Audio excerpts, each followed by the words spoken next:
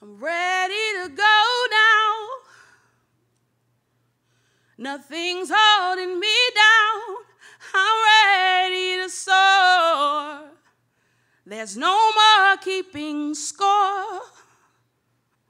Oh, how I've grown now. Eh?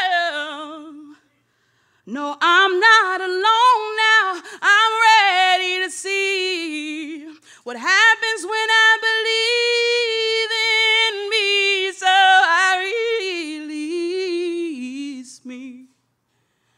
And everything that wants to be free, I release me and everything that wants to be free. I'm ready to go now. Nothing's holding me down. I'm ready to fly. No more asking how or why. Cause oh, how I've grown now. No, I'm not alone now. I'm ready to see what happens when I let go of my dreams. So I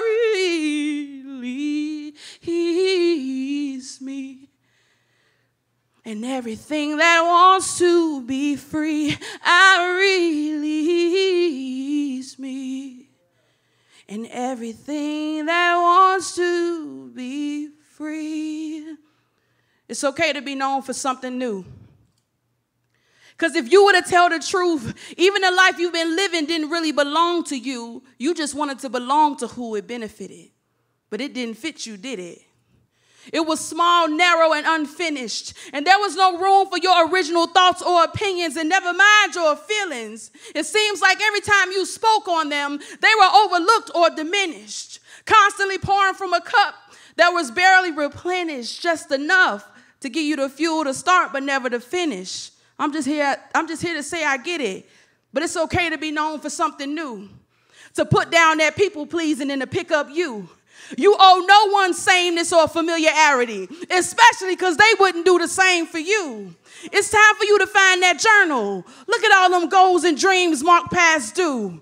You wake up every day to give your love away to the world, yet every morning you walking right past you. I'm not here to judge you. I've been there, so I'm really here to hug you and tell you that the tools you need to do this, though you think you don't come with, yes, you do. And at any moment you're ready, sweetheart, just know you can be known for something new.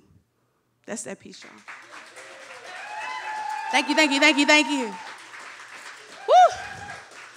So I start with um, I start with "Release Me." That song that I sung is really a mantra I created for myself.